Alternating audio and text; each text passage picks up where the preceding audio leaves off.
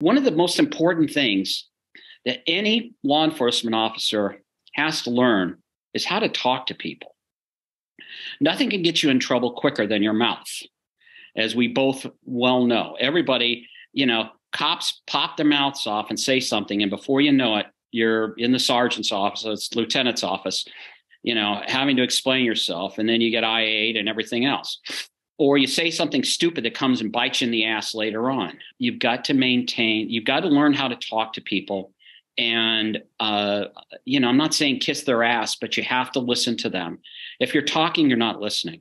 Hey guys, don't forget to check out the Street Cop Training Conference April 23rd through the 28th, 2023 at the Gaylord Opryland Resort and Convention Center. It's going to be a great experience. Five career changing days, some of the most profound speakers in the industry. Guest speakers include Rob O'Neill, the guy who killed bin Laden, Kyle Carpenter, the youngest living Congressional Medal of Honor winner, Fox News host Tomi Lahren, Navy SEAL American war hero Jason Redman, Sheriff David Clarke, Sheriff Mark Lamb, and Sheriff Wayne Ivey. You'll also spend time with all of our Street Cop instructors at this event Monday through Friday. We'll have a great lineup of courses in addition to our great speakers. It will be a week that you will not forget. You'll be thankful you came. You don't want to miss out. Check out streetcop.com on how to register. If you're going to use the room code, make sure you book it from Sunday through Friday. That's what the code's good for, and it's about half the price of the regular rate. But those rooms are running out, so make sure you sign up now. We'll see you there.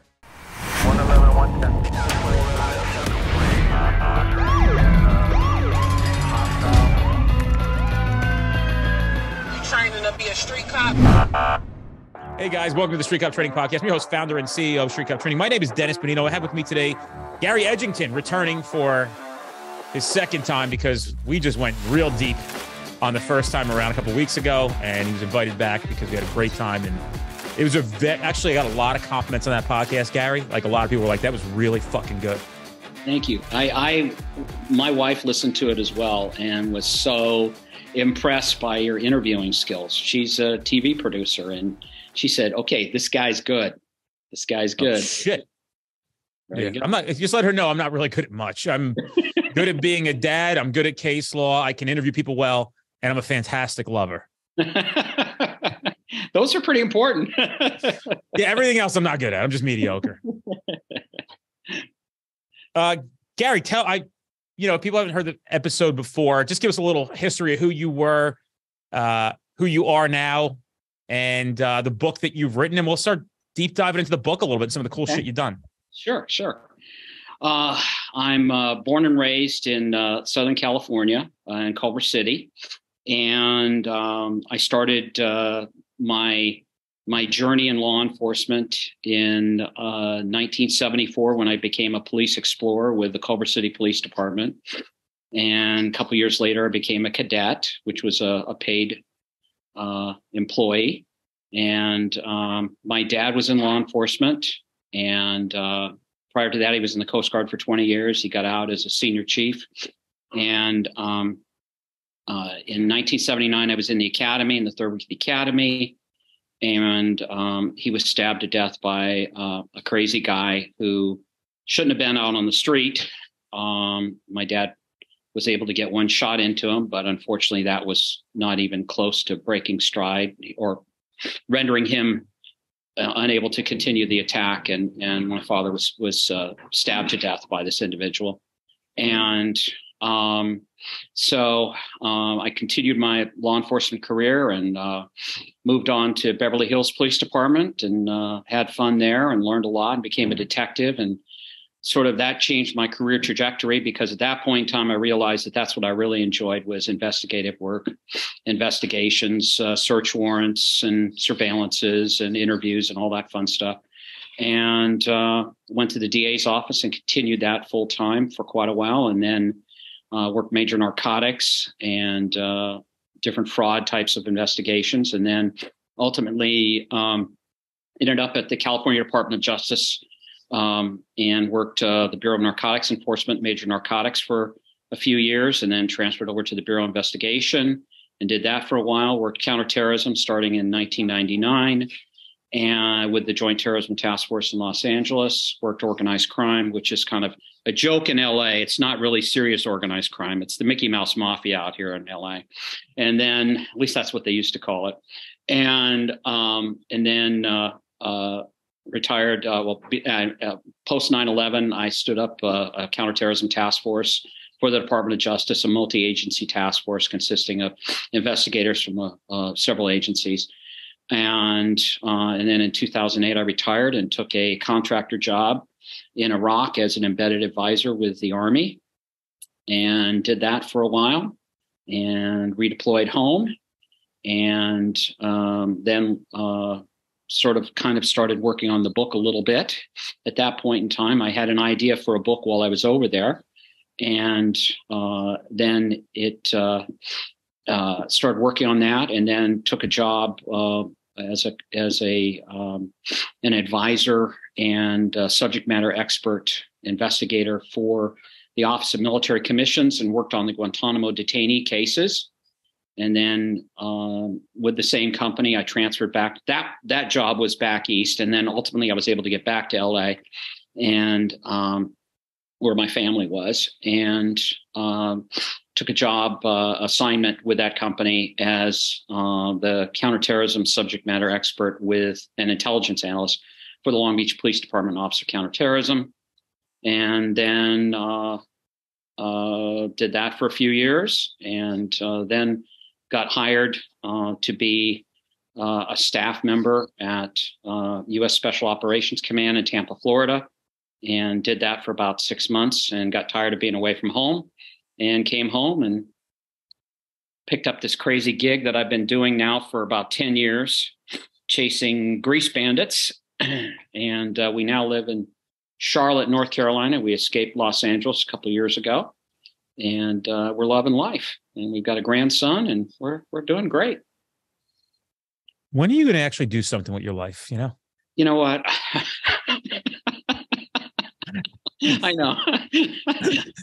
I just can't sit still. That's my problem. I can't sit still. I mean, how many more agencies are left? Three that you didn't work for? yeah, one or two anyway. oh my god! But I did go to three police academies. I can't say that. I uh, often wonder why I, I, I, what it meant in my life to have to go to three police academies. And, and, and again, believe me, I'm not the only person who went to three police academies. I know there's other guys out there. Matter of fact, my old partner went to three police academies as well. Shitty ones, just just as shitty as the ones I went to. To be quite honest with you. Oh God. So let me ask you this: I mean, you got a lot of history in there mm-hmm. of the law enforcement work that you did.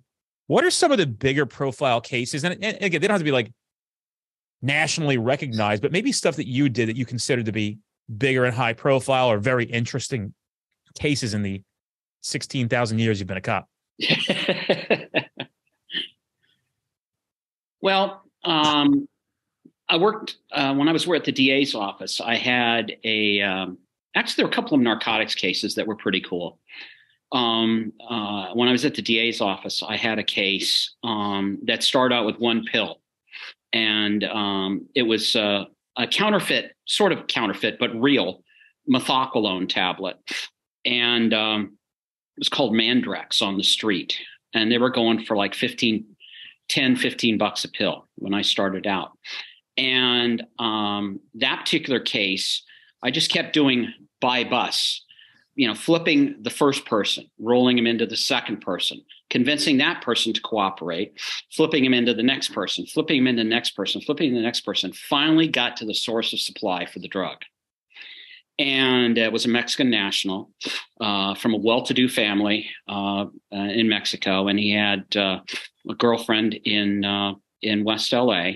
And uh, we got, we, we got, a, we, you know, we said it, we knew when the load was coming through uh, a confidential informant that I had flipped, and uh, and that was one of the things that I was I kind of prided myself on was patience and being able to flip people and get them to to to rat their buddies out, uh, develop a rapport with them. I took my time with them, and with this this particular female, I was able to get her to cooperate finally, and um, and um, we had some of the coolest some of the coolest surveillance photos I've ever seen of a delivery and an exit with a bag full of money that you've ever seen. They are textbook, you know, uh, you know, the bag full of pills and coming out with the envelope full of cash. It was like, I mean, they're just like fantastic photographs. And the coolest thing about that case was in the narcotics business, you know, you rarely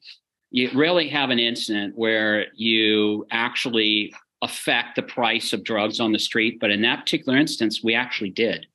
We got the price of that pill up to 20, 25 bucks a pill from that case because we basically dried up the source of supply for a while. And that was pretty cool. I was pretty pretty proud of that one. Um, and um, you know it was it was a fun case we did a lot of we did a lot of of, of buy busts on that case which are always a lot of fun you know you know run in screaming and you know we're the police and you're not you know that kind of fun stuff you know. And uh and then sitting down with them and giving them a come to jesus talk and usually they did. Well sure i mean you don't have many options right? You're maybe sometimes staring down the pike of a significant well, you know what's interesting? Um, the problem is always, um, unless they've got a lawyer who's savvy, they bring in some some mope who, uh, you know, some lawyer who really doesn't understand how the game is played. Um, they can really screw up um, the future of their client, really screw them over because, you know, if they don't cooperate, then they're going down. And we give them a sweetheart deal and um, you know if they do everything cooperate give us one or two or three cases whatever the, the contract says um, then they walk and uh, but a lawyer comes in and he starts screwing around with it and you know strutting and and making earning his money he thinks or she thinks and totally screws the client up happens all the time oh, yeah. and uh, you know frequently it is the kiss of death when they bring a lawyer in unless it's a good lawyer who understands how the game is played and really cares about their client, um, they can really screw their client up big time. So. People get very confused on the difference between a law degree and somebody who's a competent attorney. Oh, for sure. Yeah, it's it's most of them. People don't realize this are fucking horrendous. Yeah, horrendous. Yeah they don't really they just simply want to bloviate and and you know sound sound important and you know put their stamp on everything uh, and um, without really regard to the benefit of their own of their of their client and uh, seen that so many times in my career so many times well there's a lack of humility right the bravado and i'll give you an example of this we had a attorney when I ran a real estate team. My friend Dave Francis, he's excellent. Uh, shout out to Dave. He's he's the man. You know, Dave always had a cool, common, collected head when we talked about negotiations or people had complaints or there's something wrong with a house. And I would have oftentimes clients who are like, I don't think Dave's fighting strong enough for me. And I'm like, hey, if you would like Dave to be a dick, you won't be in this house. Do you right. want to be in this house? and are like, yeah, I'm like, so just let him do his thing. There is going to be some give and take here. We are trying to negotiate. We are not in litigation at a war here. We're talking about five hundred to a thousand dollars in repairs. That that like, we'll let you know if we think it's something significant that we should argue about, but we don't really have to argue. We're here to negotiate. And some of the best attorneys that I have seen outside of having put a show on during a trial, which I understand why that's done um, are intelligent, cool, calm, and collected, and don't let their emotions dictate. Right. But it's, it's certainly not their hubris either. Right. Right. And people don't recognize that just because you went to school doesn't make you good at something. I mean, no. doctors there are that are fucking terrible. Right. Exactly. Exactly. I mean, yeah, uh, that is that's just the way things are. You know, I mean, people they get that degree and they go running around and uh, they think they uh, they're now they now own the world and or that they're going to uh, impact the world in some way. And you know, it's interesting. I don't know if you ever noticed this or not, but frequently some of the easiest lawyers I found to work with were the public defenders in in many ways because some of them were so tired of being lied to by their clients and that they basically were like you know that you could just tell that they that they understood the situation and they they had a job to do and they did it correctly they didn't do anything that was you know, uh, not in the interest of their client, but they definitely understood the score. And I noticed that so many times versus brand new, fresh out of law school DAs who, God bless them, don't know shit. Um, you know, um, they're just getting their feet wet and um, they just have no clue. They just they come they're coming to the the the world of of criminal justice and law enforcement with with with zero um, experience and world knowledge. You know, uh, you know they're they're basically they spent their lives in school. They have no understanding of what the real world is about, and you know they have these individuals come in there and blowing smoke up their skirts, and they just don't see it coming. Versus the PDs, they're like okay, I've heard this story before 5,000 times. I know my client's full of shit. You know, I've seen that many times. Oh yeah. And, and, and that coupled with a complete lack of humility. Yeah. Yeah. Oh yeah. Yeah. Yeah.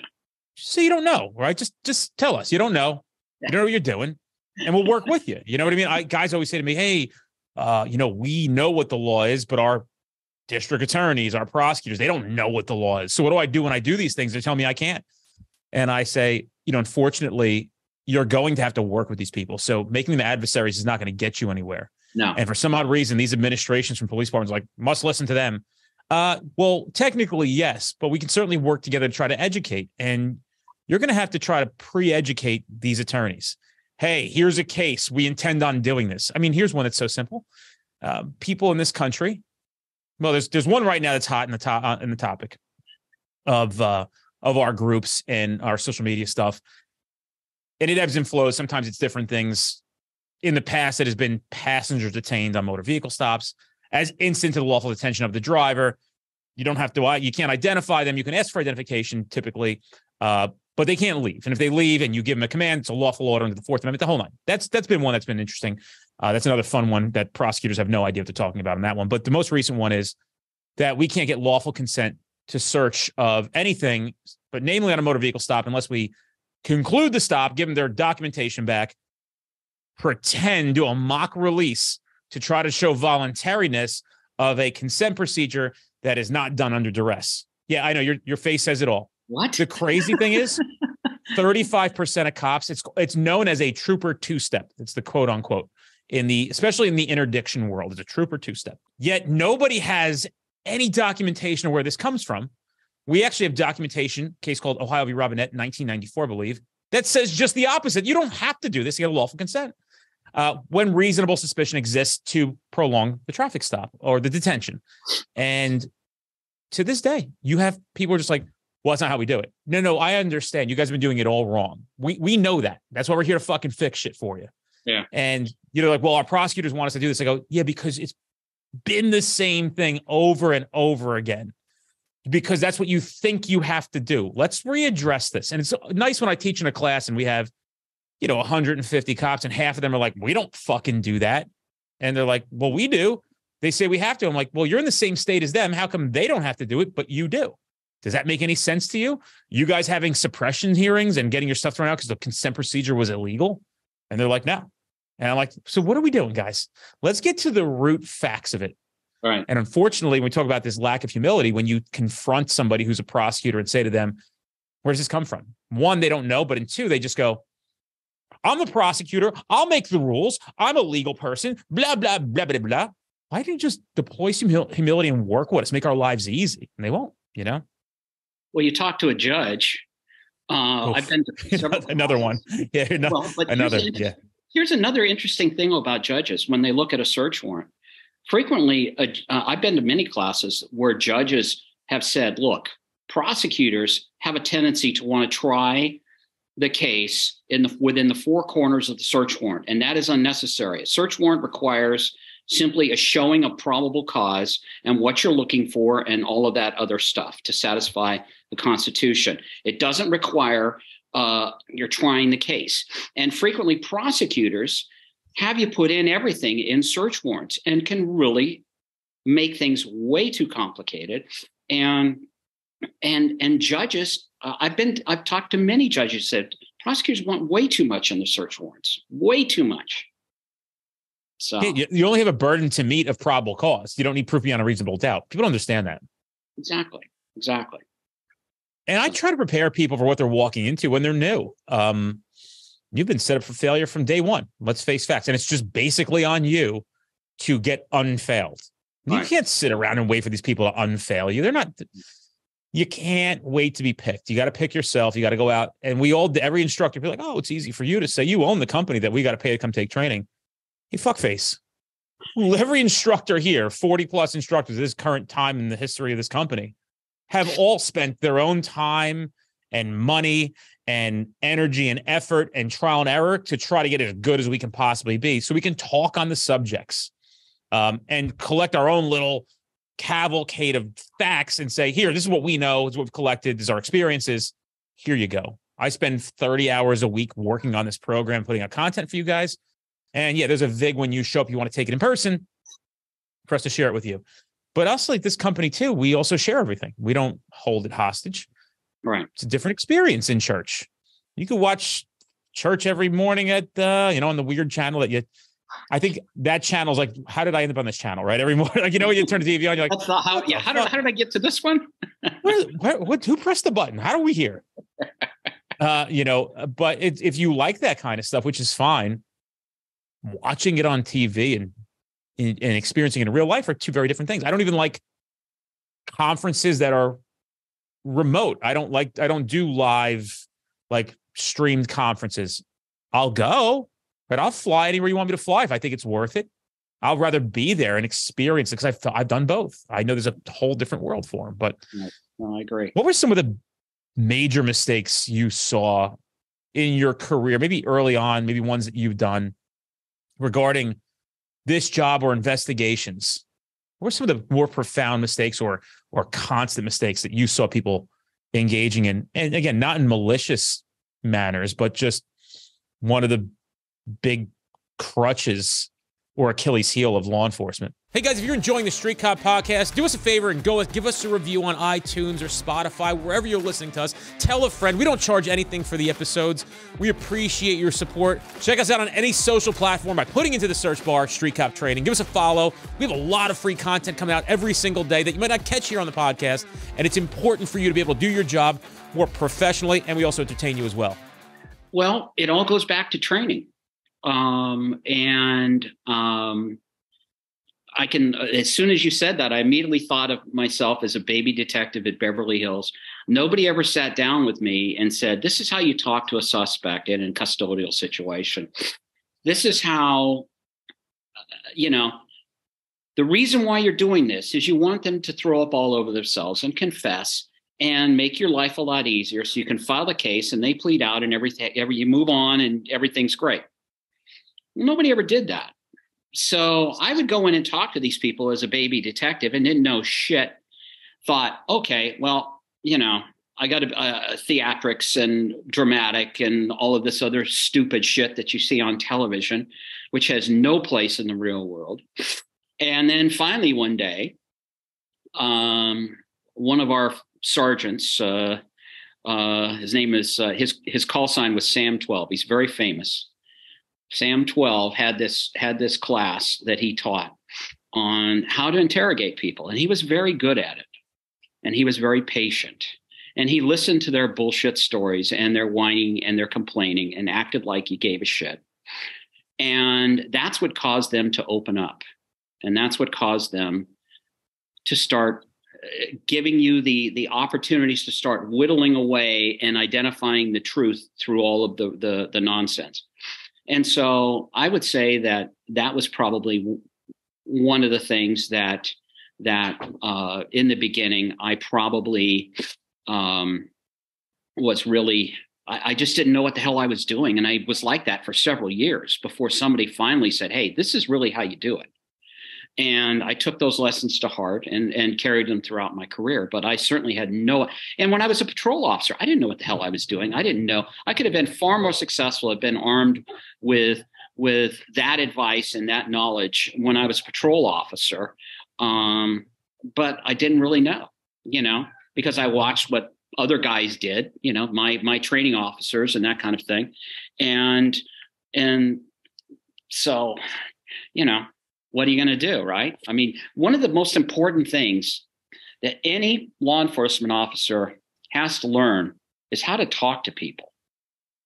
Nothing can get you in trouble quicker than your mouth, as we both well know. Everybody, you know, cops pop their mouths off and say something, and before you know it, you're in the sergeant's office, it's lieutenant's office, you know, having to explain yourself, and then you get I-8 and everything else.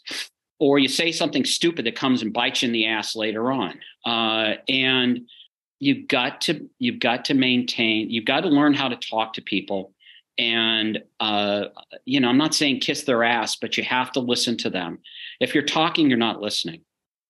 And um, you know, a lot of guys, myself included, I I talk too, too much instead of sitting there in dead silence because you know as we as we as you know you know if you sit there and don't say anything they're going to want to say something because they can't stand the silence and so you know uh it's just these simple little things you know that that unfortunately nobody really taught you you know back then i don't know if they do now to be honest with you why was Sam 12 famous? Who was Sam 12? Oh my God, the guy was a detective for a million years. Uh, he's retired now. And uh, he was a character, an absolute character, a hell of a, a hell of a detective, solved a lot of cases. Uh, and um, when I was patrol officer, I'll tell you a story. Uh, I I got a call of an assault victim at 509, uh, well, 509 North Palm in Beverly Hills. And it was about one or two o'clock in the morning. I just dropped off my partner who was writing a report, so I was by myself in the car. So I roll up to the, the scene, black out, get out of the car, and um, the the uh, the reporting person is standing framed in the doorway, screaming, "Hurry, hurry, come quick! Paul Lynde's been assaulted. I think he's dead." Well, Paul Lynde is a famous comedian back then. I don't know, you know, remember the show Hollywood Squares and all these other things. Bewitched. He was like Dr. Bomb. I don't know who he, he was like a character, recurring character on these things. A very flamboyant guy, very funny guy. Well, anyway, uh, go in the house and uh, and um, it was very strange, very surreal situation there. And went into the bedroom, the master bedroom, and Paul Lynde was was dead uh, in an agonal position. He was, you know, naked and everything. And and Sam Twelve was the sergeant that responded because it was a, it was a, you know, uh, potentially it, it, it required it required the sergeant, the detective sergeant, to come out because um, we didn't know if it was a natural or you know something else. And um, and that was really my first exposure to him. And he was he knew what he was doing. He knew exactly what he was looking at. He saw some evidence on nightstand. He said, "Okay, I know what happened here," and that's what happened. And um, it was uh, it was it was pretty interesting to watch. And uh, and he was he's just a, he was just a, a font of information and knowledge, and uh, old school, an old school guy. What was his personality like? A really good guy, a, a really, really good, good, decent guy. Uh, and, uh, you know, not bombastic at all, funny, uh, and, um, you know, just a, just a really good guy, a good detective, a really good detective. What else was he known for? If if he was was, he famous in the Beverly Hills Police Department yes, or yes he was yes he was he's he was really famous as an auto theft detective. Uh, it's where he really earned his his uh, his stripes. He was he's a big car guy back then, and um, he really knew the auto theft game. And when I went to detectives, I went into auto theft. So he really helped me out a lot with auto theft because there's a lot of little nuances with VINs and hidden VINs and chop shops and all kinds of stuff. And uh, and he helped me out a lot with that. And um, was uh, was you know a, a mentor in, in, that regard. Tell me about a little the premise of your book. Uh, what do you talk about throughout the book? Why is it a good read for people to pick up? That's a good question. Um, basically, outside the wire is is a fictionalized uh, account of uh, a, uh, a, retired LAPD um, detective lieutenant who worked uh, counterterrorism for a number of years. who's thrust into a war zone, Iraq, in 2008, who's never been in the service. So he's in a completely foreign environment where they speak a foreign language. And they have, at times, very odd and strange methodologies and procedures and, and ways of thinking that caused sort of a, a uh, an interesting conflict between he the the the Rick, the protagonist in the book, and who's who's who's basically a a, a guy who's a mission oriented case maker kind of guy, the guy who who is like uh, you know either you're going to follow me or lead me or get out of the way because I'm going to make this case happen. And uh, the bureaucracy and um, uh, the bad guys and everything else are all standing in Rick's way as he unravels this uh, this uh, multidimensional uh, conspiracy uh, with the help of a uh, an army physician um, by the name of Nancy Weaver, and um, it's a story of of of a fish out of water, really, uh, a guy who uh, is just sort of an everyday guy. He's not a superhero guy who um, is thrust into an environment he really doesn't completely understand, and uh, and how he makes do with uh, with what he has, and uh, and sees the case through to the end. That's awesome. What motivated you to write the book? Well, I'll tell you, it's a funny story. Um, well, actually, it's not funny. It's actually really tragic, is what it is.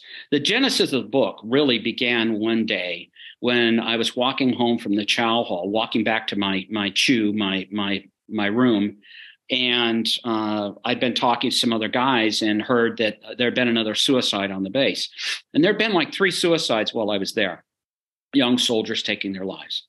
Wow. And uh, and there'd also been an attempted fragging at another uh, forward operating base that fell within my area of responsibility. The the individual that worked for me at that facility, I had other individuals like myself that were embedded advisors, civilian law enforcement people like me.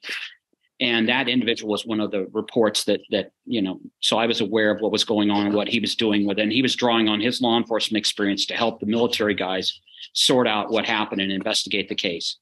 And anyway, um, so I started thinking, well, this would be interesting. What if uh, a retired flatfoot like me was was asked to help out informally on a multi-victim homicide case, like an Agatha Christie kind of you know, 10 little Indians sort of homicide situation.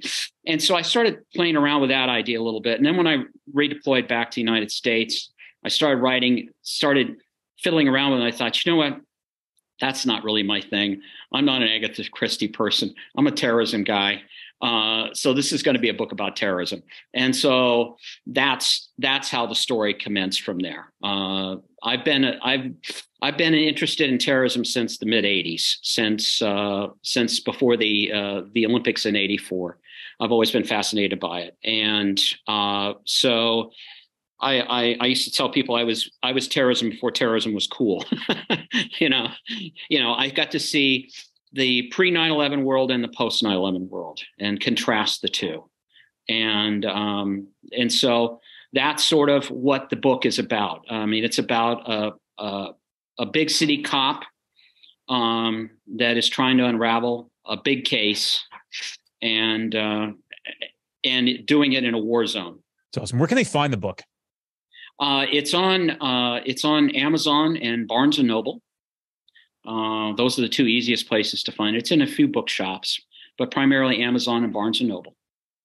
Do the audiobook yet or what? No, I haven't. Um, I've been thinking about doing it, but I'm uh, I'm more concerned about the marketing and promotion of this book and starting the sequel. There's been enough there's been enough interest and demand um, uh, from people who are interested in the story of of Rick and want more of Rick and his unique personality, um, that I decided that I I'm going to write another one. So I'm I'm going to start writing the sequel. So, so I guess that's what's next for Gary Edgington is going to be the sequel to Outside the Wire. Right, exactly. Exactly. It's going to be Inside the Wire. no, actually, I do have a title for it, a working title. It's called World Way. And uh, if you're from LA, you'll know what word World Way is. It's uh, it's where LAX is. What else is on the itinerary as you carry through so swiftly in life, besides being a grandfather, an author, um, you know, literally having worked with 94% of the law enforcement in the country. what else is left for you? What's the what's the plans? well, I'm taking up crochet. No, actually. Um, actually, I'm, I'm I'm learning fly fishing, and um, which I really enjoy. Uh, there's a lot of fly fishing opportunities out here in North Carolina, and it's it's gorgeous country for it. And um, I'm a uh, a big uh, I'm, I'm a big guy when it comes to shooting and, and hunting and fishing and that kind of thing. And I especially love really really old guns. I spent a lot of time playing around with old guns like that beast up there on the wall behind me, a Brown Bess musket. Um, so I enjoy tinkering with that stuff, and I think that between all of those things and uh, I also love history, which goes along with my love of the old guns. And there's lots of history where I'm at out here. And uh, I've seen many, many battlefields since I've been here, and I continue to search them out uh, whenever I go afield. And so that's what I think is going to keep me pretty busy between uh, my little buddy, Declan, and uh, and all these other little little uh, uh, diversions. I think I'll be a pretty busy guy. So it's awesome.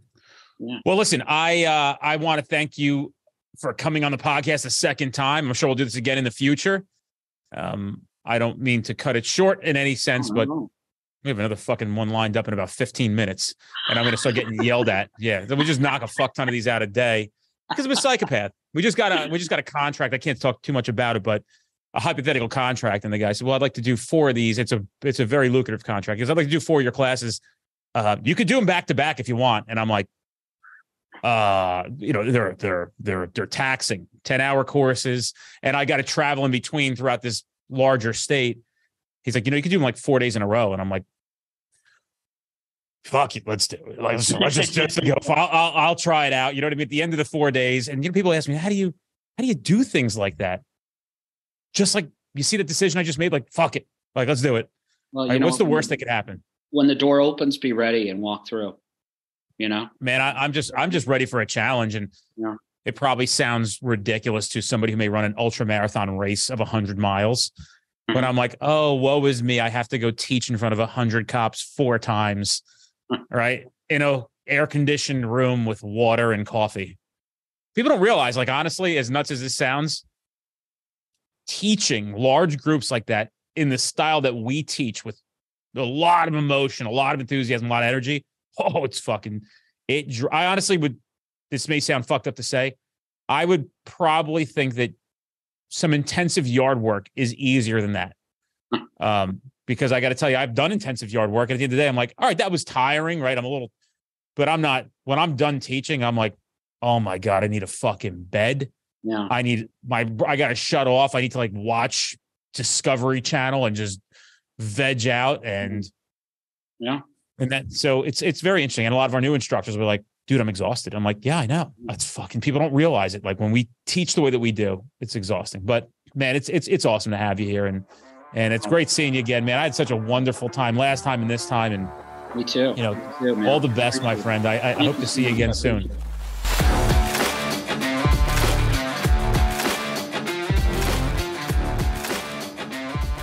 Guys, if you're in an area where you're trying to get to our classes, but we're not close to you, fret not. We actually have on demand training at streetcop.com. You can take that course online right now, and then you could attend that training in the future at no additional cost. You can redeem your voucher. So you get two for the price of one. We don't want to deny you the ability to take this training now, especially knowing that it can keep you safe at a very minimum, putting bad guys in jail where they belong, and at the maximum, going home to your family.